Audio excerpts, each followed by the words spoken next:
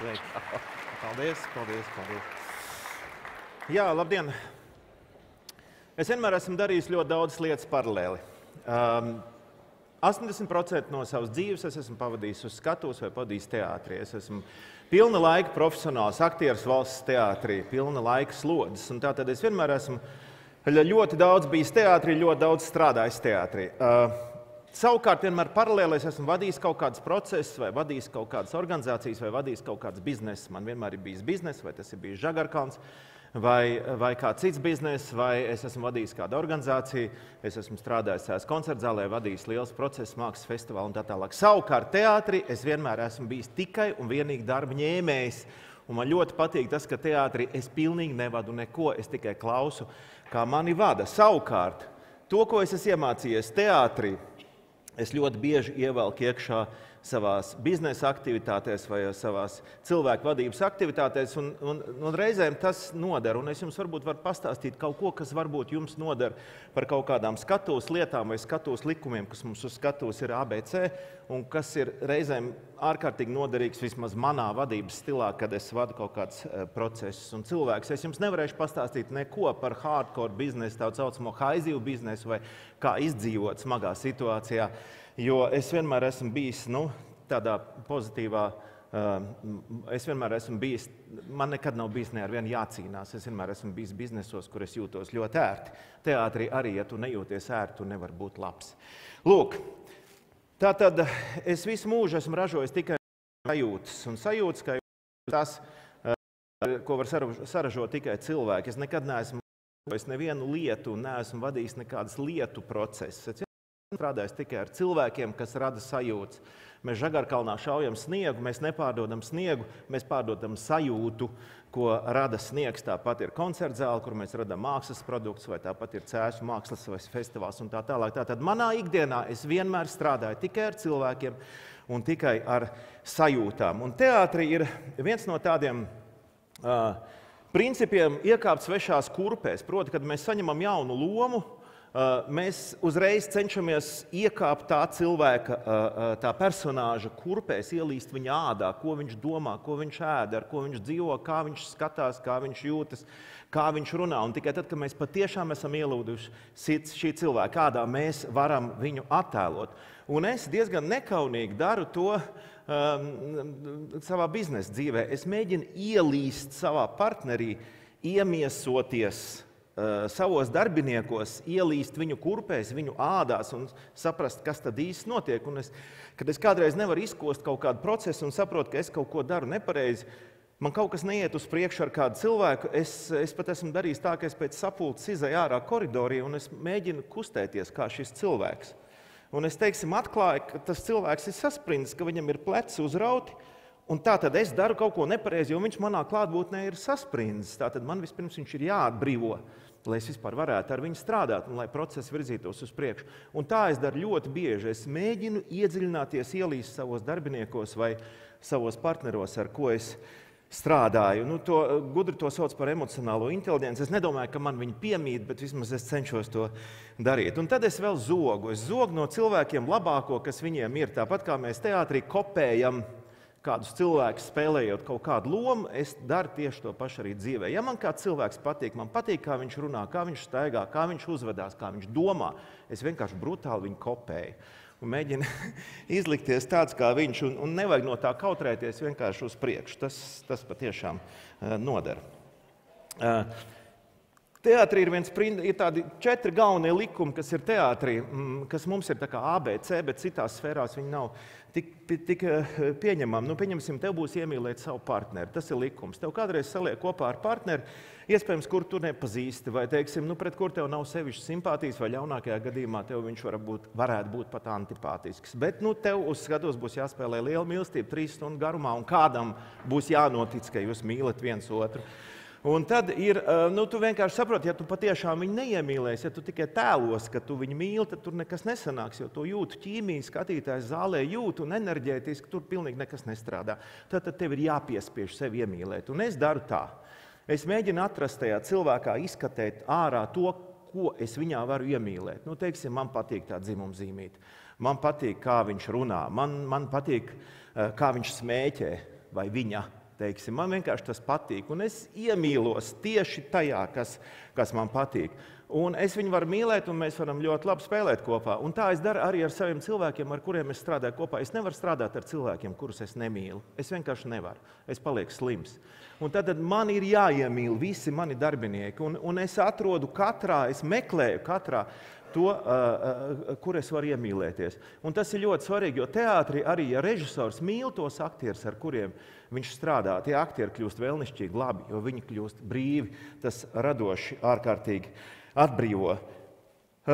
Tad par partneriem ir svarīgi, ka teātrī, ja tu esi ļoti labs un tavs partneris nav tik labs, tad, tad tu būsi slikts. Nav variantu. Tu vari būt ģēnijs, bet tavs partneris nav labs un tu neko nevarēsi izdarīt. Teātrī no partnera ir atkarīgs pilnīgi viss. Un kādreiz teātrī ir izdevīgi uh, uzlabot savu partneri vai strādāt ar partneri, lai viņš kļūtu labāks, lai vispār tu būtu kaut cik labs.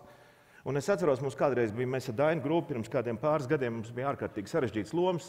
Izrādē M. Butterfly, kur grūbi spēlēja vīrieti, kas tēlo, ka viņš ir sieviete, un es savukārt spēlēju vīrieti, kas ir iemīlējies tajā sievietē, nezinot, ka viņš ir vīrietis. Nu, vienā sakot, krustām šķērsām ārkārtīgi sarežģīti. Un mēs divi tādi mačo tipi, divi tēviņi, grūbi puisis no Madonas, divu metru garš. Un, Man arī nav viegli.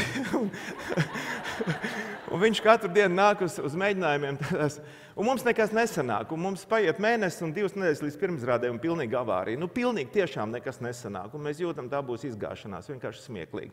Un grūbēl pie tam nāk uz, uz, uz mēģinājumiem visu laiku tādās noļukušās treniņbiksēs. Un, Un es vienkārši neko nevaru sevi attīstīt, nu, pilnīgi neko. un es vienā dienā viņam saku, tā, zini, ko grūti man tas ir piegriezies. Rītdien tu atnāksi sievietes kleitā un būs sasmaržojies ar sieviešu smaržām. Un viņš patiešām atnāk tajā sievietes kleitā. Un, Sasmaržojas ar smaržām, un mums viss notiek. Un, un, un, beigās, un, un es varēju kļūt kaut cik loģisks un labs, un viņš kļuva vēlnišķīgi labs. Viņš mūs abus divus nominēja toreiz uz labāko aktieru, un viņš vinnēja. Nu, vienkārši nu, super. Tas, protams, nenozīmē, tas nenozīmē, ka jums kāds no saviem darbiniekiem ir jāieģērb klētā, lai vispār tur kaut kas notiktu. Bet, eh, bet ticiet man, ir kādreiz ārkārtīgi izdevīgi savu darbinieku maksimāli sakot, uzķūnēt vai uzlabot, lai jūs varētu kļūt labs. Tad, kad tu esi vadītājs vai tad, kad tu esi galvenajā lomā, um, tu, tev visu laiku ir tā sajūta, ka visu laiku kāds uz tevi skatās. Tu nedrīkst izkrist no savas lomas nekad.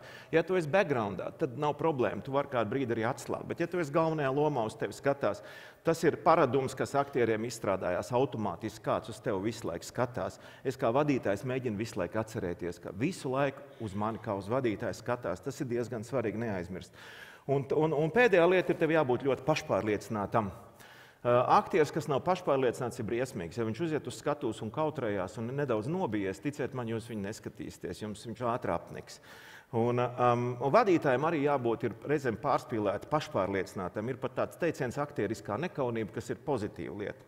Nu, varbūt arī uh, vadītājiem jābūt reizēm nedaudz nekaunīgam vai pašpārliecinātākam nekā viņš īstenībā ir. Man patīk tas stāsts par lāču medniekiem, un, un tā ir patiesība, ka lāču mednieks stāsta Sibīrijā, ka tad, kad tev uzbrūk lācis un kad tu saproti, ka aizbēgt, tu vairs nepaspēsi, patrons ir beigušās, tad vienīgā iespēja ir pacelties pirsgalos un, un, un, un izstiepties lielam un dusmīgi rūkt, un tad varbūt tev ir kaut kādas cerības, ka lācis pirms viņš tev apēdīs vēl kāds pāris sekundes. Ja? Apdomāsies, vai, vai tomēr to darīt.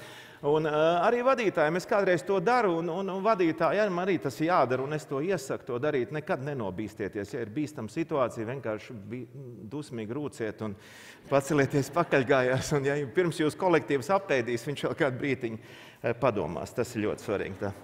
Uh, Kastings. Teātrī kastings ir viss, prasme atlasīt īstos cilvēkus īstajā lomām ir absolūti viss. Tie 90% no no panākumiem. Un, uh, um, es, es arī mēģinu, viena no vadītāja prasmēm ir veikt pareizu kastīgu.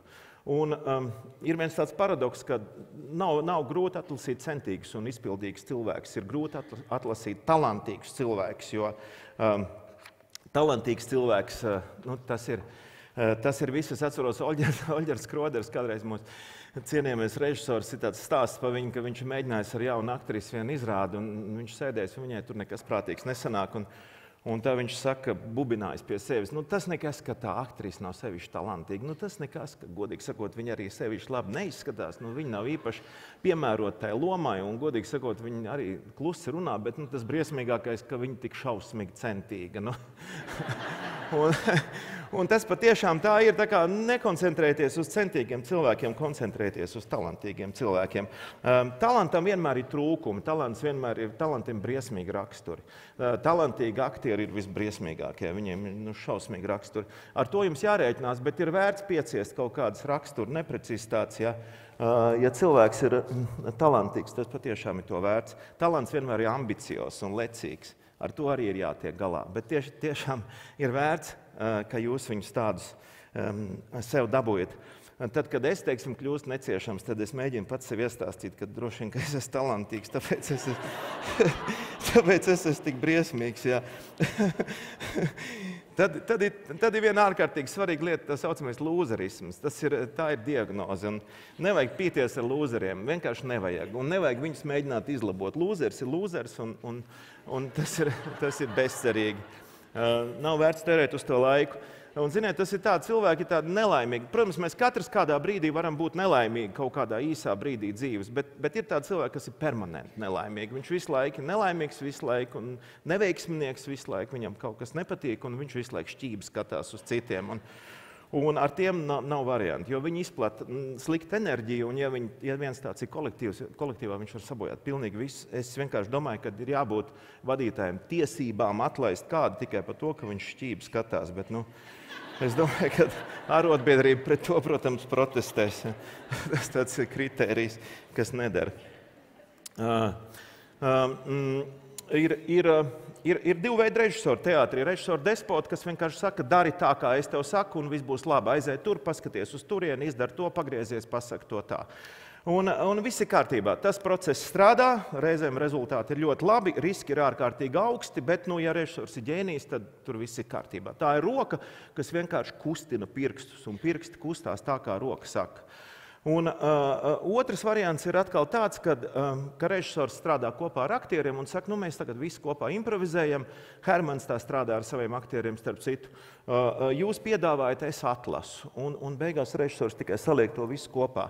Tas arī strādā. Pirksti ir, ir, ir strādā paši par sevi, un režisors tikai viņus savēl kopā, koncentrē. Uh, uh, ja jūs neesat ģēnijs, teiksim, tā kā es, tad man der tikai otrais variants. Protams, man nedara pirmais variants. Uh, un es tā, tā vadu, uh, vadu savus komandas, un tā es saprotu. Uh, protams, tur ir mīnusi un tur ir plusi.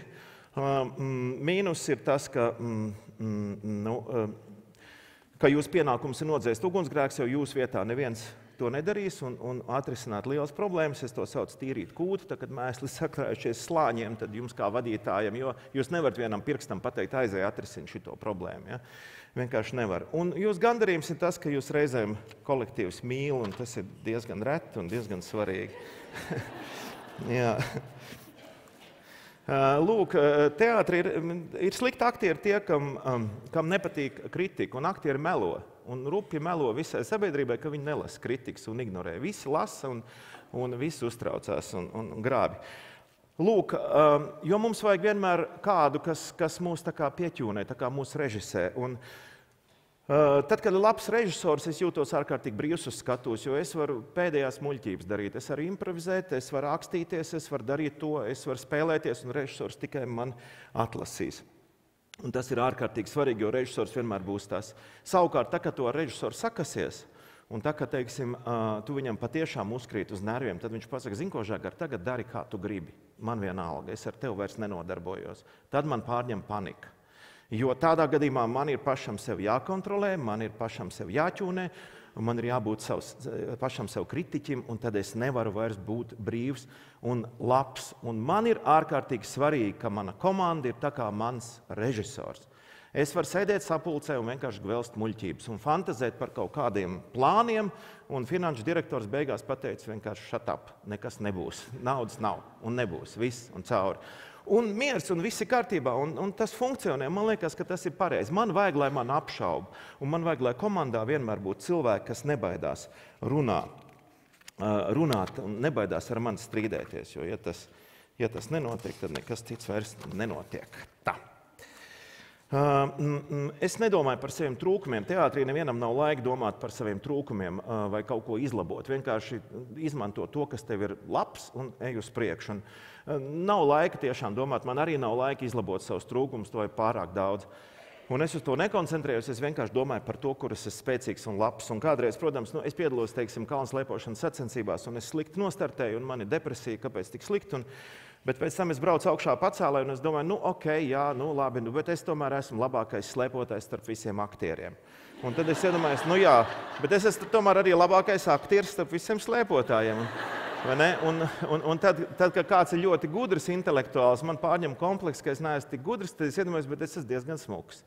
Un, atkal, un tad es iedomājos, neesmu jau tik stulbs, un tad, teiksim, tad viss ir kārtībā. Tad, tad, Nevajag, sevi, eh, nevajag nodarboties ar paškritismu. Paškritismu tas nav produktīvi. Aizmirstiet to vienkārši uz priekšu. Eh, es mācos atrast personisko motivāciju. Proti, ja tu esi vadītājs, tev jābūt motivētam, personiski motivētam. Es neticu uh, tiem politiķiem, kas saka, es cenšos sabiedrības labā, un, un tie visi meli. Uh, tas nestrādā.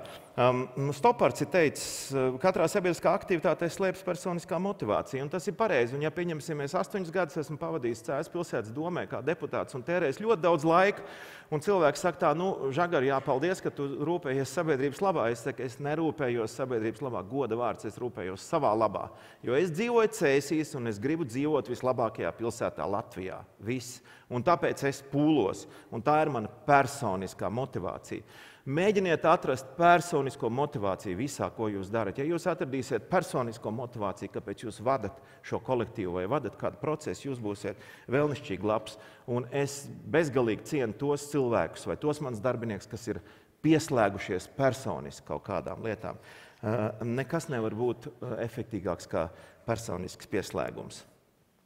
Ir trīs obligātas atkarības, kas ir nepieciešamas labam sportistam un labam māksliniekam. Uh, un bez tā nekas nenotiek. Jūs zināt, ka um, labi sportisti kļūt par labiem biznesmeņiem, tas nav noslēpums, un arī daži aktieri ir par kaut ko kļuvuši. Tur Švarcenegers ir ticis diezgan augsts, teiksim tā. Bet uh, ir trīs obligātas atkarības, kas ir nepieciešamas vadītājiem nekautrēties no tā un uz priekšu. Pirmā ir uzvaras garš, gribēt konkurēt ar kādu un kādu uzvarēt. Tas ir ārkārtīgi svarīgi, tas ir liels drives. Ir, tas ir liels pamatojums, un tā ir ļoti laba īpašība. Ja jums negribās kādu uzvarēt vai ar kādu konkurēt, tad, tad jūs nevarat būt labs vadītājs. Trešais ir, jums gribās būt slavenam, labam aktierim vienmēr gribās būt slavenam, un labam vadītājam vienmēr gribēsies staigāt ar tēkraklus, kur ir viņa slavenās firmas vārds. Tas nav nekas slikts, un slavas valdzinājums ir, ir ļoti, liels, ļoti liela narkotika. Tā, to nekad nevar aizmirst, ja kāds ir bijis slavens. Un pozitīvs stress, eh, teiksim, mums aktieriem ir tā saucamais eh, lampu drudzis, ja, un lampu drudzis ir vajadzīgs, jo bez tāda lampu druģa tu uzejot uz skatuves, tu vienkārši neko nevarēsi nospēlēt. Pozitīvs stress, tas ir adrenalīns, tas ir vajadzīgs, nebaidieties no tā. Ko jūs nevarat atļauties kā vadītājs? Jūs nevarat atļauties nenest darbu uz mājām. Mēs aktieri visu laiku nesam darbu uz mājām. Es no rītiem pie brokastīm mācos tekstu, un sieva Nikna, ka es ar viņu nerunāju un runāju kaut kādas lomas vārdiem, citreiz atbild un, un tā tālāk. Ja? Bet, nu, mēs to darām, un es to daru arī ikdienā. Es nesu savus darbus uz mājām. Man patīk mans darbs, tā ir mana dzīve. Es nevaru dzīvot līdz sešiem un pēc sešiem vairs nedzīvot. Man, man tā nepatīk.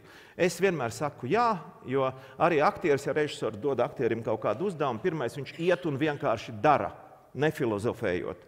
Un pēc tam, kad viņam, protams, nesanāk, nu, tad viņš kaut ko sāk darīt citu. Es arī es vienmēr saku jā, un tad mēģinu neaplausties. Un, uh, jo savādāk es vienmēr palikšu tajā nē līmenī, un es nekad netikšu uh, agrāk. Un es necenšos nestresot, tas ir bezcerīgi. Man patīk stresot, un es stresoju. aiziet uz priekšu.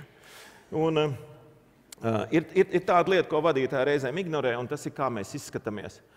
Mēs teātrī to zinām, ka mums jāizskatās labi un mums jāizskatās atbilstoši savam tēlam. Un vadītāji ļoti bieži to ignorē, jo viņam liekas, es esmu vadītājs, es varu būt dabisks tāds, kā ir, un es iešu savā džemperī teiksim, uz, uz, uz, uz, uz svarīgu sapulci, jo es esmu vienkārši dabisks. Nu, es tāds ķēpuks, ķēpuks, nu, nekā nevar darīt, bet es esmu dabisks, godīgs un patiess. Tās, protams, ir muļķības. Ja jūs esat vadītājs, tad jums vienmēr ir jāizskatās. Un es iziešu cauri savai tēlu galerijai. Jūs, protams, šo cilvēku kredītu galvojumam neizvēlētos. Par profesoru jūs neizvēlētos šo cilvēku. Šis būtu slikts ģimenes lietu konsultants. Šis būtu ļoti, ļoti slikts deputāts. Un šim, šim cilvēkam pieskatīt firmas seju pilnīgi no. Nu, lūk, jā, bet nu, lūk, ir viens kārtīgs cilvēks, vai ne? Ja? Kam var uzticēties. Bet starpība ir, tas ķēmis visu laiku viens un tas pats, tikai viņam te tās bikses ir vairāk izgludināts. Tas ir, tas ir pilnīgi viss tā tad. Ja jūs esat galvenajā lomā vai jūs esat vadītājs, jums visu laiku ir jādomā par to, kā jūs izskatāties. Jūs esat uz skatuves. Paldies!